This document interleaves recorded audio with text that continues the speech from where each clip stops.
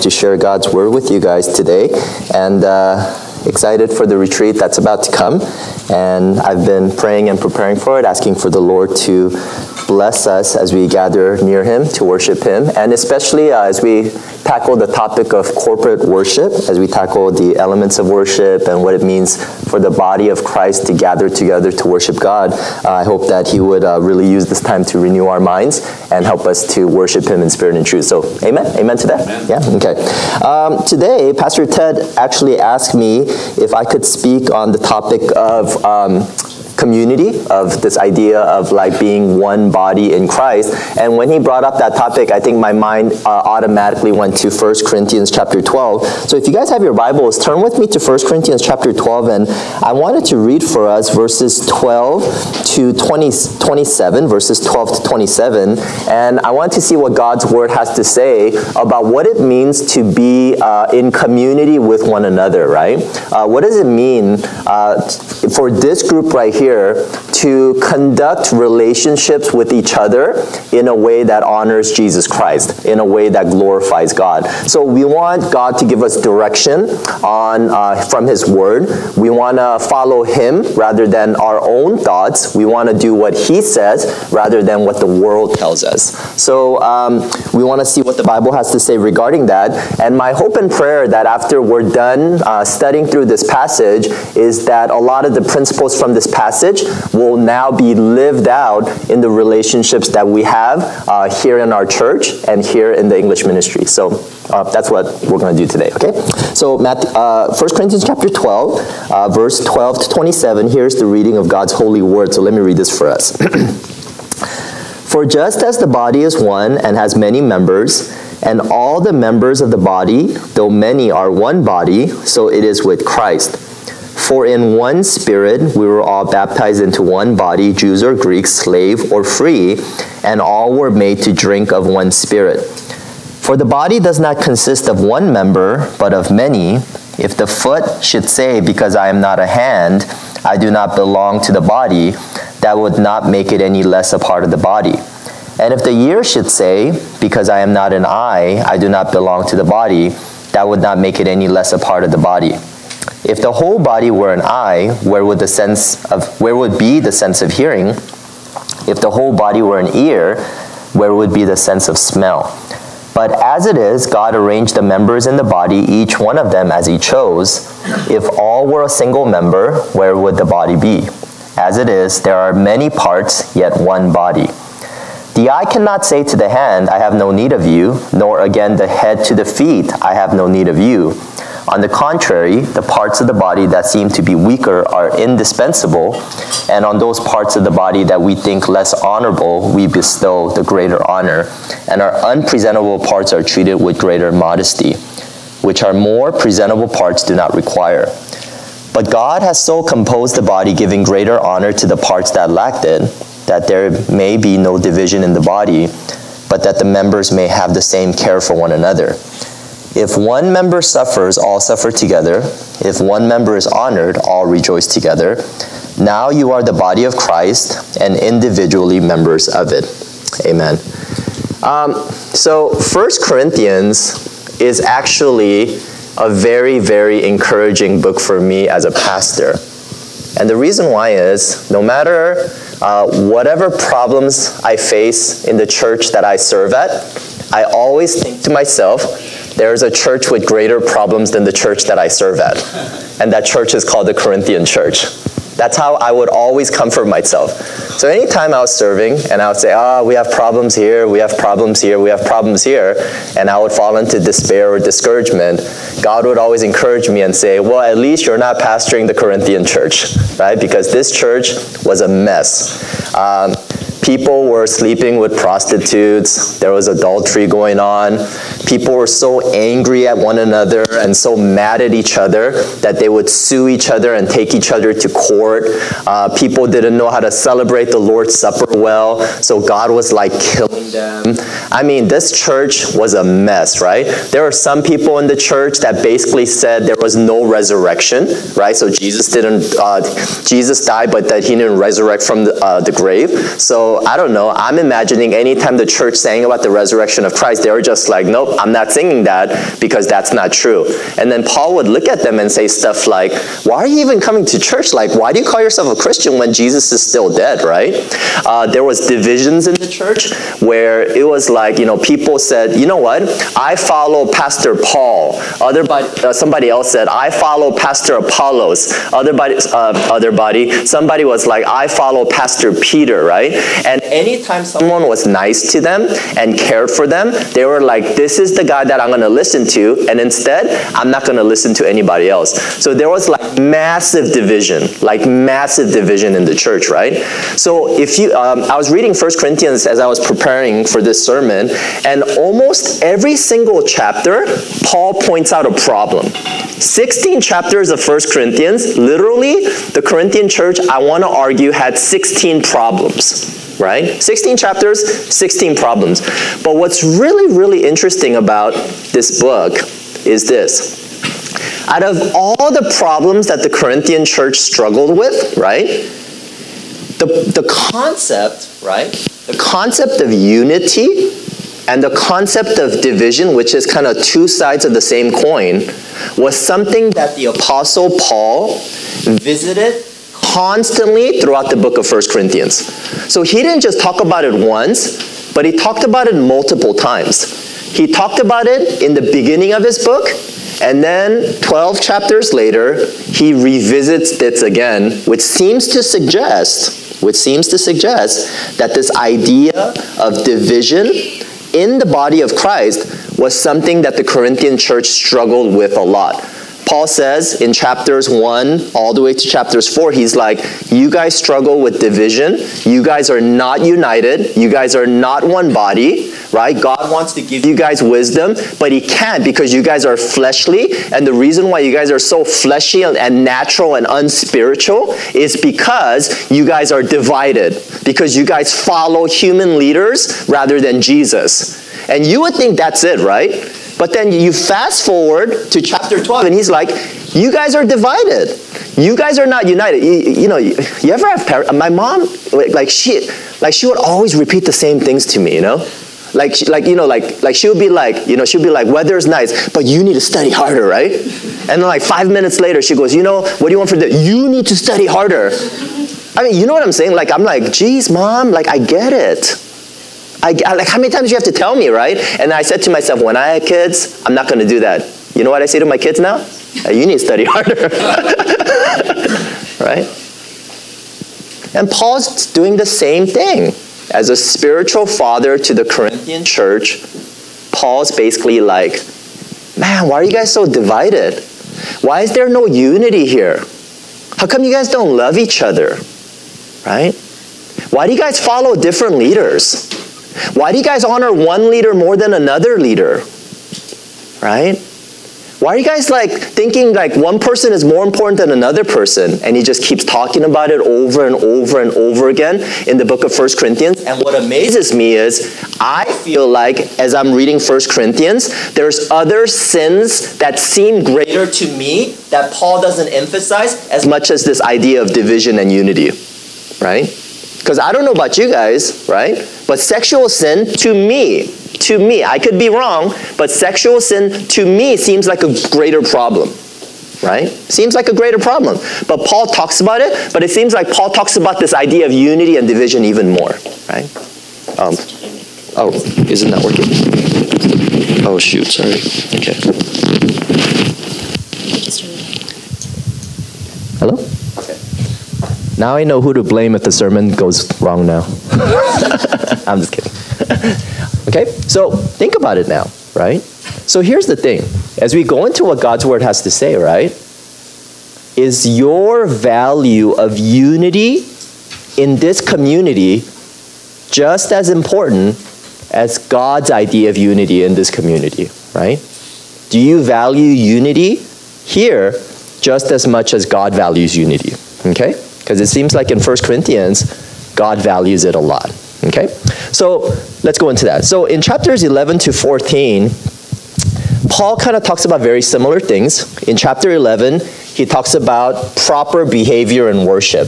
So, you know, he's like, man, you know, when you guys celebrate the Lord's Supper, some of you guys rush on ahead of each other, right? Some people eat too much, others starve, and you guys are not doing with the right heart and right spirit. And then Paul says something crazy, and he goes, that's why some of you guys are sick, and that's why some of you guys are dying, right? Isn't that crazy? You do the Lord's Supper and then you die. And then Paul's like, you know why? You know why God is killing you? Because he's showing you grace because he's killing you now so that you won't go to hell. Can you imagine the Corinthian church hearing that? Right? God is killing you, and that's grace, so he could save you. Right? Chapter 12, the chapter that we're going to cover, he talks about the idea of how there's many different gifts, but it's all for the unity of the body. Chapter 13, he basically says, all these gifts are useless unless we have love. And then in chapter 14, he tackles these very controversial gifts called prophecy and tongues because the Corinthians are not using it well. Okay? So today, we're going to focus on chapter 12. And we're going to see what God's word has to say regarding 1 Corinthians chapter 12. And in 1 Corinthians chapter 12, I think what I notice is this is in verses 12 to 14, Paul uh, holds two things in tension. And the two things that he holds in tension is unity and diversity. So he basically says this. He says, when you look at a Christian community, when you look at a church, okay, so Paul's basically like, when you look at a church like this, when you look at OCCEC, right? OCCEC, right? He basically says this. He goes, this church is different, yet this church is one. So he doesn't ignore the problem, okay, but he also emphasizes the solution. So the thing that I want to uh, emphasize to you is this is although Paul acknowledges the diversity, he emphasizes and he stresses the unity. Okay? He acknowledges the diversity, but he emphasizes and stresses the unity. Look at verse 12. Paul says something like this. He says, "Look, there's so many of us. And he goes, and we're all different. So that's what he says. He goes, look, there's all these different people, and we're all different, we're all diverse. But then he says this he goes, but we are one. But we are one. Look at verse 12. For just as the body is one and has many members, and all the members of the body, though many, are one body, so it is with Christ. You guys see that? You guys see the way he plays with the words? He goes, Look, we're all different, there's many of us. We're all diverse. However, we are one. Okay? Look at verse 13 now. Paul says, and then he's, he's kind of like making it even more specific. He goes, Not only are there many of us, he says, we are significantly different. We are so different from each other. However, he says this, but we're one. And the reason why we're one is because of the Holy Spirit. Okay, look at verse 13. For in one spirit we were all baptized into one body, Jews or Greeks, slave or free. Now, you see those words, Jews or Greeks, slave or free? They never hung out together. They were never in the same community. And if they were in the same community, they hated it, right? You put a Jew and a Greek in the same room, their main thought was, how do I get out of this room, right? You put a slave and a free person in the same room, their thought was, how do I get out of this room? Right? So Paul's like, look how significantly different this body is. However, it's one body. And then everybody's like, how the heck did this body become one body? And then the, uh, Paul says, it all happened because of the Holy Spirit. The Holy Spirit is the one who put all of us into one body. Now, here's the lesson that Paul's trying to make to the Corinthian church. And this is the lesson that I would want you to know is this. Paul acknowledges diversity. So he doesn't hide the problem, he doesn't ignore the problem. Okay? Does, do you know people who like, you talk about the problem and they're like, hey, I don't want to focus on that. I don't want to think about it. Right? You know those people where like there's a mess, you know, like, like you know, uh, the bathroom's broken. Uh, just don't think about it. Right? Do you know people like that, right? Paul, Paul's not like that. Paul's like, look, there is a problem. And the problem is there's Jews and Greeks, slave and free, hanging out in one church, in one room, that's causing all these problems, right? And it's because of diversity, it's because of differences, and I want to acknowledge it. I want to acknowledge that. However, Paul says this. He goes, that's not what I'm going to emphasize. That's not what I'm going to stress. Although I acknowledge diversity, I'm going to emphasize and stress unity. You guys see the difference there? Right? And that was the problem of the Corinthian church because you know what the Corinthian church did? They stressed and emphasized diversity over unity. Okay? The Corinthian church, they said, look how different we are. We're not the same, right? Look how different we are. I'm a Jew, he's a Greek. I'm free, he's a slave. I follow Paul, he follows Apollos.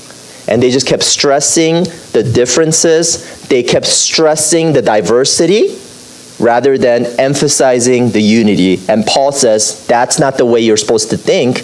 Let me tell you what to think. The way you're supposed to think is, although you acknowledge diversity, we have to emphasize and stress unity. Okay? Is that you? Let me ask you a question today. When you think about this church, right? When you think about your community, do you emphasize unity or do you emphasize diversity? Because whatever you emphasize, it will have an effect. It's going to have an effect. Whatever you emphasize, it's going to have an effect. Whatever you emphasize, it's going to work its way into your heart. Okay? All right. Um, you know, I remember I was I was going I was going to get extra schooling, so I graduated from seminary, and then maybe like five years later, I said, you know, I think I need more schooling to be a better pastor. So I wanted to get out of California. So I said, I don't want to go to school in California. And I started looking around for uh, school. I started looking around for school, and then I found a school in Florida. And I said, I want to go to this uh, Christian school in Florida to get extra uh, schooling. And then I went there, and I was shocked, man, because it was a class of 30 people, and I was the only Asian. Okay? I was, and you got to understand, I grew up in Orange County, right? This is so comforting to me right here. You know what I'm saying? Like, like, like I, I came in, I sat down, and I was like, ah. Like, you know, like I felt the spirit of, not the Holy Spirit, but the spirit of Richard saying, You're home. Right? I went to Florida, and it's all, okay, I'm sorry. It was all white people, right? And I remember I sat there, and only thing I could think about was this. Only thing I could think about it's all white people. Like in my head, right? I'm like smiling, you know? And in my head, it's like, oh, it's all white people. It's all white people. It's all white people. And I'm like, no, no, no, it's okay. I was talking to myself, it's okay. You know white people, Richard? Right? And then they started talking. And they're all from Louisiana. Right? Mississippi. And I'm like, oh my goodness these are southern white people. right? And I was the youngest one there. They're all in their 50s and 60s. And one man, genuine, genuine man, he goes, Hey boy, what's your name? And I said, Oh my goodness, this white person from the South called me boy.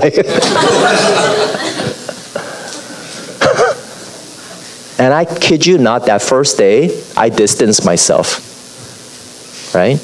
After class, you know, after class, like you all kind of like, you know, hey, what's up? How's it going? You know, like, like, you know, they all gathered, and I just sat there by myself, right? And I bet some of them were like Asian. and I just kept highlighting it. That night, I called my wife, and she's like, hey, how's it going? I said, oh my gosh, it's all white people. Not just white people, but white people from the South. And I said, This person called me a boy. Right? I mean, right? It's, it's crazy. Second day, I'm like, you know what? Ugh, you can't be like this. So I said, I'm gonna go hang out with them. I said, hi, right? How's it going? They're like, hey, where are you from? I'm like, oh, and I said, I'm from California. I'm the only guy from California, right? And they're like, they're like, you must be liberal, right? They're like, you must be liberal, right? And I'm like, I had to defend myself. I said, no, I'm not liberal, right? And then they were like, you know, let's go eat. I said, we want to eat. We want to get barbecue. And then they're like, they're like, you know, they're like, they ordered this thing called okra. I'd never heard of that in my life, right? And all I could think about was like, oh my God, we even like different food, right? Second day. Second day. And then you know what really just convicted me? I was talking to one of my friends. He's another pastor. And then I was like, you know, she's like, he's like, hey, how's it going there? How's it going? And then I was like, oh, you know, it's okay, but, you know, like, they're so different from me. That's what I kept saying. They're so different from me. They're so different from me. And then he, he, he said to me over the phone, he was like, hey, are they Christian? And I'm like, yeah, well, duh. They're all pastors. And then he's like, hey, last time I checked, weren't they your brothers and sisters? And I felt like the Spirit of God just like, you know, like, you know, those spiritual swords that's like, you know, like stabs me. And I felt like the Spirit of God was like, hey, Richard, like, these are your brothers. Like your real brothers. Like Jesus actually said that these brothers might be even closer than your physical brothers. And the Spirit of God was telling me, like, what are you emphasizing here? Are you emphasizing the differences? Or are you emphasizing the similarities? And I literally had to get on my knees and I had to repent because I was emphasizing the differences. It worked its way into my heart and I distanced myself from the group. You guys see that? And then, you know, afterwards, I made a commitment to emphasize the similarities. So I remember I walked in, I said, These are my brothers, these are my brothers, these are my brothers. Right? And I started drawing near to them. I started spending more time with them. And I kid you not, to this day, my closest friend, my closest friend from that group is the most different from me. This guy's from the deep south, man. He's never been to the city. Right? He's like 70 years old. Right? Like I can't even understand if he speaks English because his southern twang is so like thick, right? This guy named Mike, we still hang out today. Right? He says I'm the only Asian he's ever met in his life. and he's like, this is, he always says, this is my Asian friend. And he goes, this is one of my closest friends. You, you see how whatever you emphasize works its way into your heart. Whatever you emphasize. So, you know what Paul's doing here? Paul is basically saying, right? What are you emphasizing, although you acknowledge the difference? Right? So, are you emphasizing the faults of the church? Right? Or the strengths of the church? Because I know this. My old church, the people that emphasized the faults of the church, they left the church after a while. They did. You know why? Because they just, it worked its way into the heart, right? Are you emphasizing the faults of somebody else or the strengths of somebody else? Right? Why? Because everybody I know, like, you know when I talk to people and they're like, oh, that guy, problem, problem, problem, problem, problem. You know what? They're never close. Never close. So that's one of the problems of division in the Corinthian church was, although they acknowledge unity, yeah, yeah, yeah, we're one, they emphasize diversity or differences. While Paul basically says, you got to flip it around. And my prayer for you, OCC, OCCEC, is that you emphasize unity while you acknowledge diversity. Can I get amen on that? Amen. Yeah? Okay. All right. Uh, here's my second point. Paul addresses two errors. Two error, two, so two bad thinking that the Corinthian church had. Okay? And the first error is this the church does not need me, the body does not need me. Okay? So that was the first error. So there were people in the Corinthian church that was basically, they looked at the church and they were like, oh, it doesn't need me. Like, I'm not needed. I'm not that important. Look at verse 15 and 16. If the foot should say, because I am not a hand, I do not belong to the body, that would not make it any less a part of the body. And if the ear should say, because I am not an eye, I do not belong to the body, that would not make it any less a part of the body. So background of the Corinthian church, uh, it was a very gifted church. In fact, in chapter one, Paul was like, "Man, you guys are so gifted." Like it was like care, like you know, prophecy, healing, like you know, like all the gifts. It's like tongues, like full display, right? Super gifted church. And what happened was the people with the gifts of prophecy and healing and tongues, um, it made the ones who didn't have those gifts feel inferior right? Uh, you ever feel that way where, you know, like your brother and sister, you just feel like they just have a greater gift than you, right? You know, you know what I'm saying? Like, I mean, you have a gift, but their gift is like, whoa, you know, like, like it's crazy, right? You ever feel that? And then what happens? You feel inferior. Right? Uh, like, you know, like, uh, I, I just read a statistic that said, like, the oldest sibling is always the smartest, right? Like, it sucks for the second one, then, right? Or the third one right? Like you know like like like like siblings struggle with inferiority complexes right? Because like you know like uh, i know i know one family where the oldest went to harvard and the second one went to uci now uci is not a bad school right? That's all right. One of you guys like but the brother went to harvard so the one that went to UCI, inferiority complex, right? I mean, they still went to college. So, you know, it's like the parent, and then, you know, the parents are not cool, you know, because the parents were like, you know, oh, my son went to Harvard and UCI.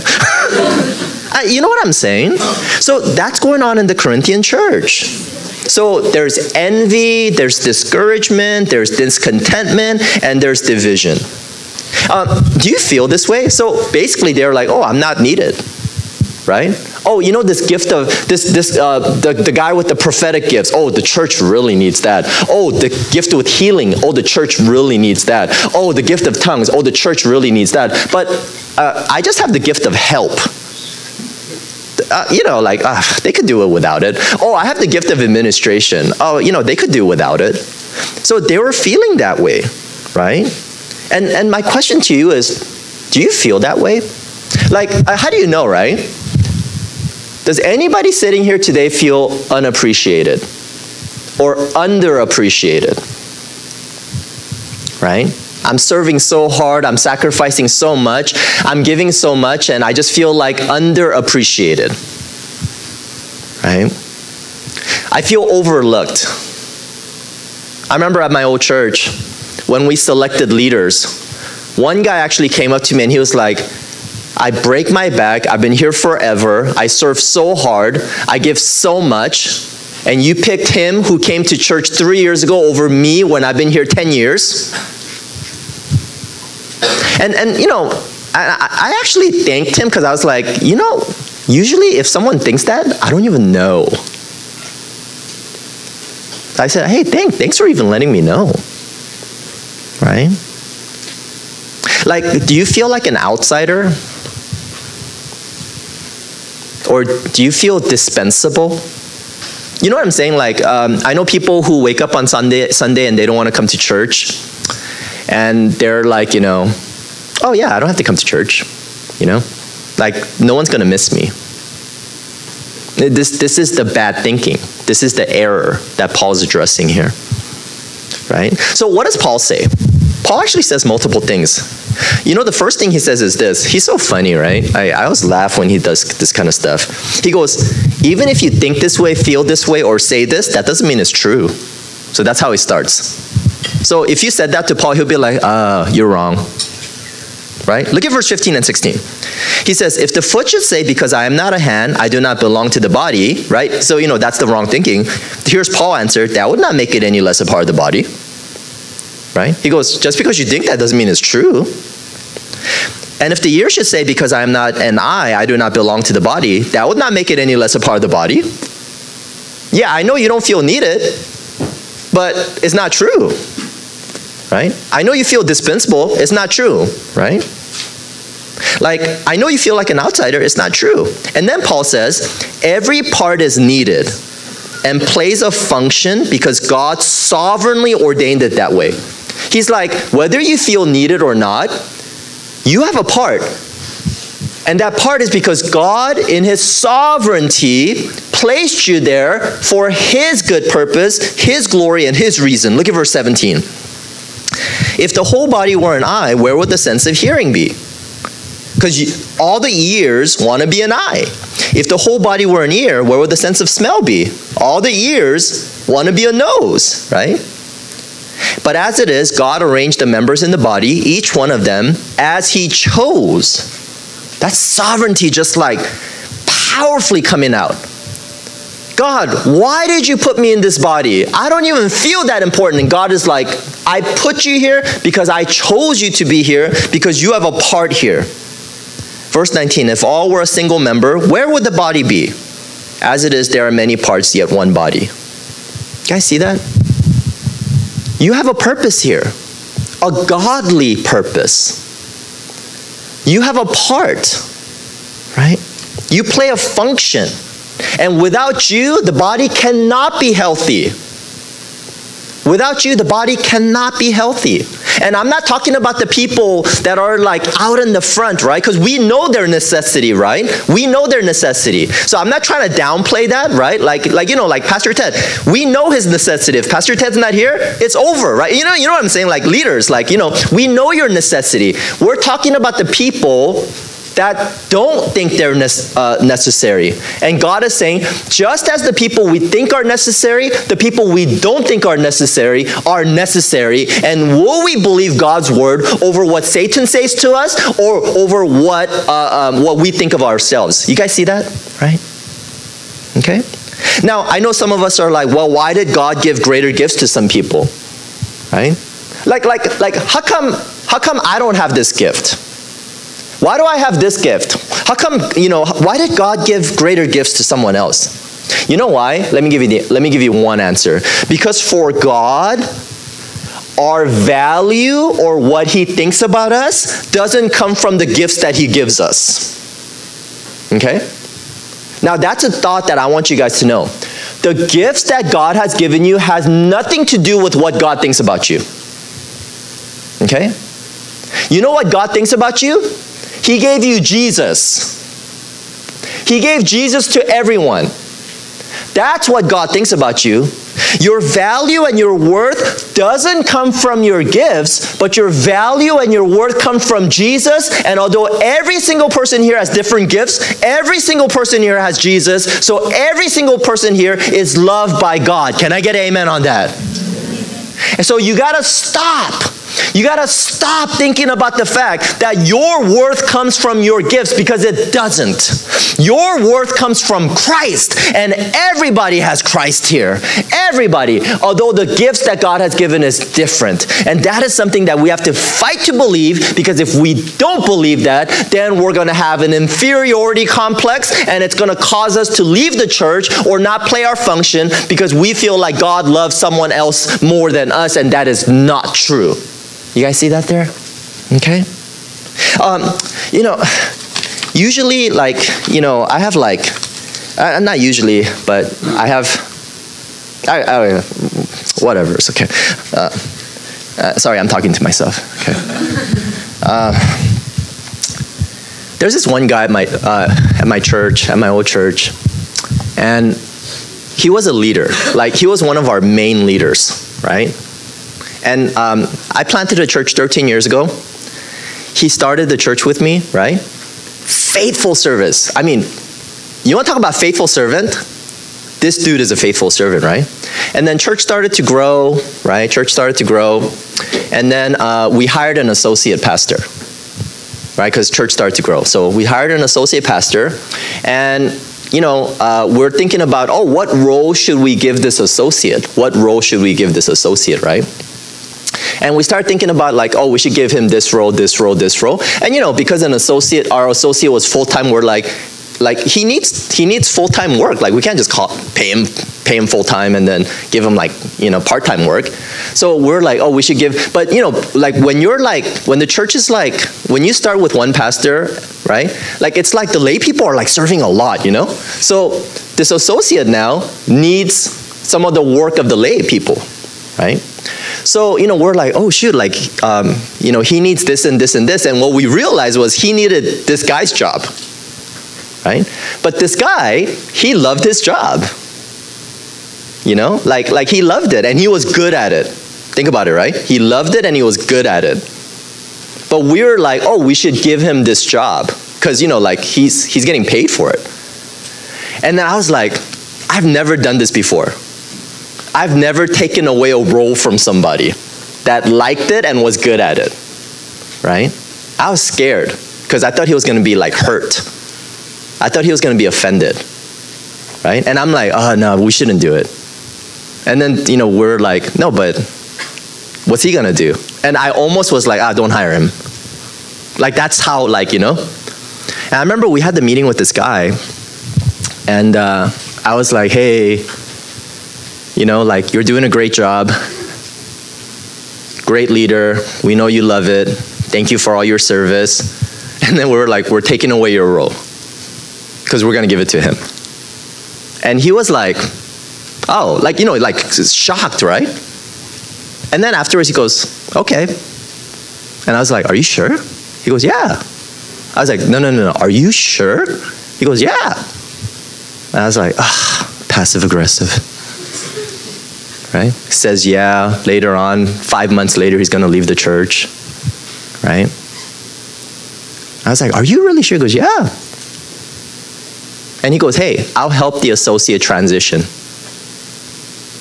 And that's what he did. It was amazing. Like, it's so funny. I'm not surprised by sin, but I'm shocked by godliness sometimes, you know? right? He like transitioned him in. And then I was like, oh, he's probably not to serve as hard now. You know? Oh, he's probably not to like, you know? He's probably just to like do his own thing. The guy served even harder. To a point where we actually nominated him as an elder recently. Right? And then I actually, like several years later, I like I was sitting with him and I was talking with him and I was like, "Hey, man, like, were you okay when we asked you to like, you know, like when we took away all these things from you. And then he was like, well, to be honest, like I really liked what I was doing. And he was like, and I kind of felt like, you know, like I wasn't needed. But then he was like, uh, I was talking with my wife and talking with my friends, and I was praying. And then he said, I realize that I love this church, and I realize that my worth comes from Jesus more than what I do. I was like, wow, that's so amazing. Right? And, and that's my prayer for you. That's my prayer for you. That you could find your worth in the gospel more than what you do, so that now you're able to serve with the freedom of the Spirit. Amen? Yeah. Like all the servants should be free. Like, you guys should be free. You serve in a free way. And that's where I think God wants us to get to. Second error I don't need the body. Verse 21. The eye cannot say to the hand, I have no need of you, nor again the head to the feet, I have no need of you. So, uh, this is the flip side, which is the gifted ones saw other people as less important or unnecessary. So this is like the flip side. Like the less gifted ones were like, oh, no one needs me. Um, the gifted ones were like, oh, I don't need them. Like they're unnecessary. Like like we don't really need them, right? So, you know, it's kind of like I think one of the questions is, who do who do we think are unnecessary? Who do we think are dispensable? Who do we think are not that important? You know how you know? By not paying attention to them by not caring for them, not by not acknowledging them. Right? You can totally tell. You walk into any church, you can tell, totally tell who are the dispensable ones, right? By, by the lack of care. lack of attention, lack of focus, lack of emphasis, right? You could totally tell. It could be children, it could be young people, it could be old people, it could be outsiders, right? Most churches, it's the awkward ones. Most churches. Most churches, it's the ones who don't fit in. Most churches, it's the weirdos. Most churches, it's the ones that don't fit the culture of the church. Most churches where you kind of just distance yourself from them. Because, like, it's uncomfortable, right? And what's really interesting is Paul says something like this. He goes, Yeah, like, you know, like the unpresentable parts. You don't want to look at that. It's uncomfortable, right? It's, it's uncomfortable. So, who are uncomfortable, right? Maybe, like, like, let's say, like, you meet somebody and you realize they were, they were divorced. It's uncomfortable, right? Like, maybe you realize like somebody doesn't have a parent, they live with their uncle. It's uncomfortable, right? Maybe you realize like this person's very, very poor. It's uncomfortable, right? Like, you know, you know what I'm saying? Like, this person has like a mental illness. Very uncomfortable. right? And, and Paul's basically saying, like, yeah, it's, it's the people you think are very uncomfortable. Like, you know, it's not that you, like, kick them out with, like, pitchforks and torches, but you kick them out through, like, withdrawing from them because it's very uncomfortable. It's awkward, right? Like, like Asians, we love this word, right? It's awkward. Oh, it's so awkward. Oh, that was so awkward talking to him, right? You know what Paul says? This is what Paul says. Paul says, you know those people that are super uncomfortable? They're actually indispensable. Look at verse 22. On the contrary, the parts of the body that seem to be weaker are indispensable. Like you need them. Like, okay, I think what Paul's arguing here is if everybody's comfortable with everybody, you're not a good church. Yeah. Like if everybody loves everybody and everybody's super comfortable with everybody and there's like, you know, like like this perfect like comfort, something's really wrong. Like something is really wrong. Like if I was a church consultant and you guys were like, "Oh my god, we, you know, all of us we hang out together, all of us we love each other, all of us we get along perfectly with each other." I'll be like, "Okay, I have two choices here. Number 1, I, I've somehow been transported to heaven." Or number two, something's really wrong. Because there should be a level of discomfort in the church for 1 Corinthians 12 to work. You guys see what I'm talking about? Right? And then Paul says in verse 23 those with less honor, we are to give greater honor. Like like the, like the ones that you find awkward uncomfortable right? Like you know what i'm saying? Like like let's say like you know i don't know somebody completely different from the culture of your church walked in.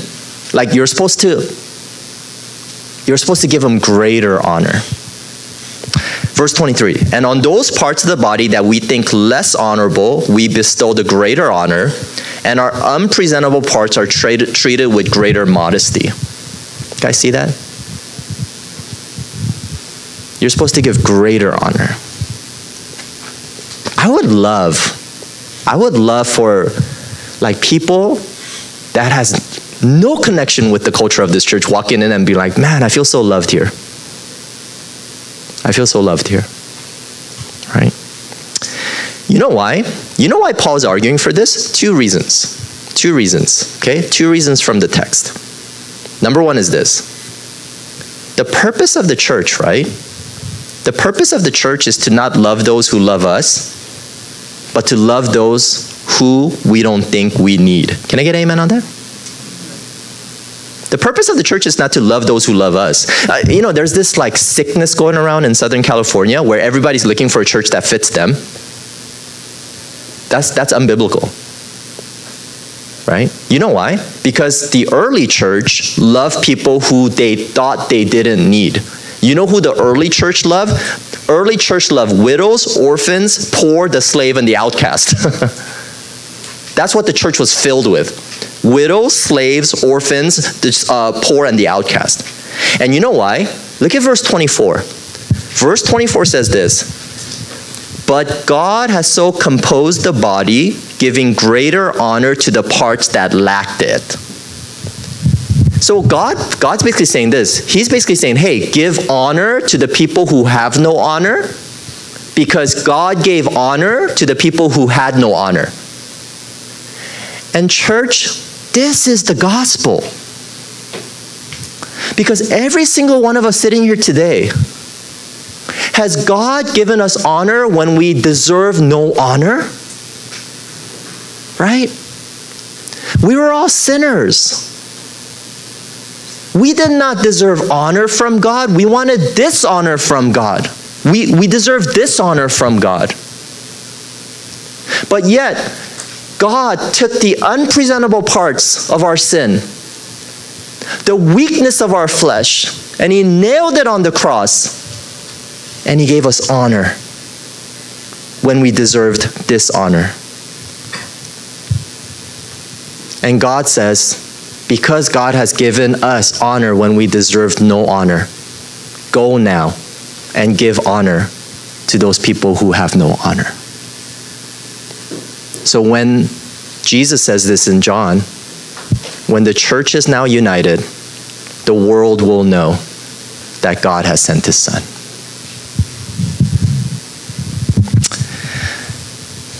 You know why we think so highly of ourselves? Because we don't understand the gospel. Here's my last point.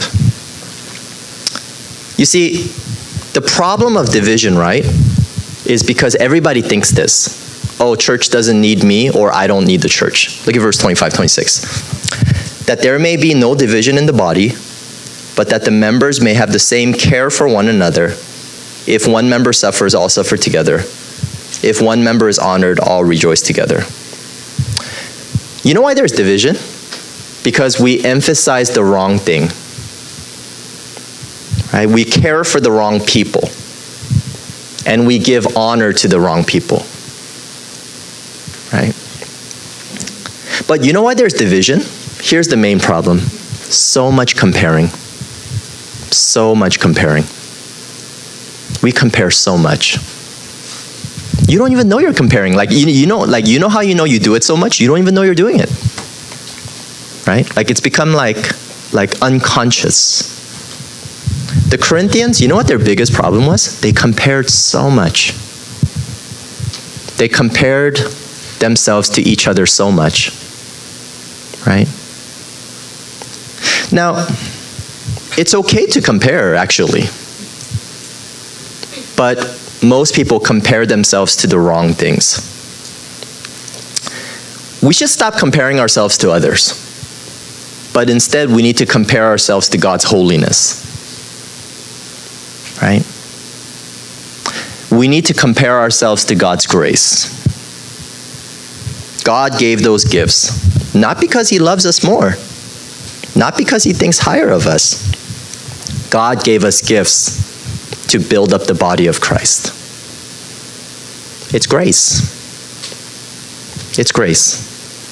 And I think when we, as a church, begin to compare ourselves to the right things, only then will humility reign and unity begin. So let me recap my exhortation to you today is this emphasize and stress the right things unity over diversity. Don't find your worth in your gifts or what people think about you, but in the fact that you have Jesus. Remember the honor that God gave you when you deserve no honor, and give honor to others, especially the ones that don't deserve honor. And compare yourselves to the right things which is not to each other, but instead to the holiness of God and the grace of God. Amen? Yeah.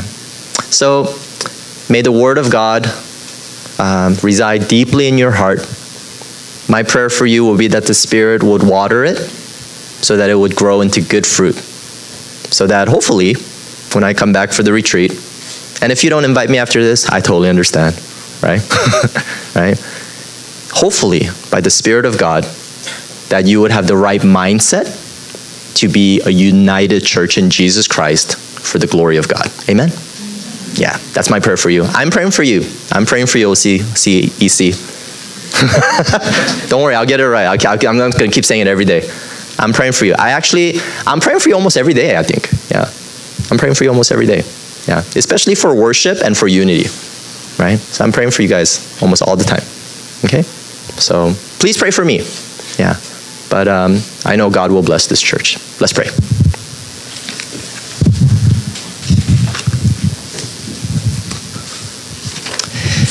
Father, we thank you for this time. We thank you for your grace, your mercy.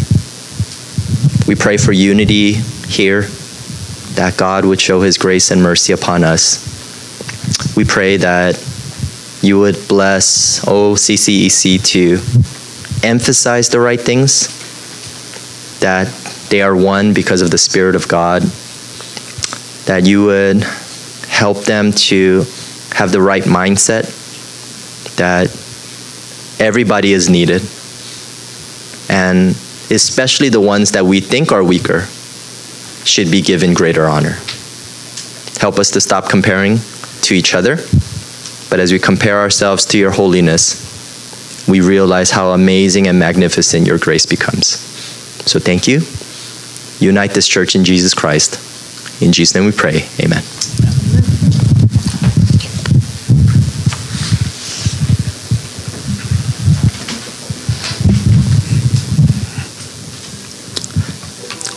Thank you, Pastor Kim, for your message.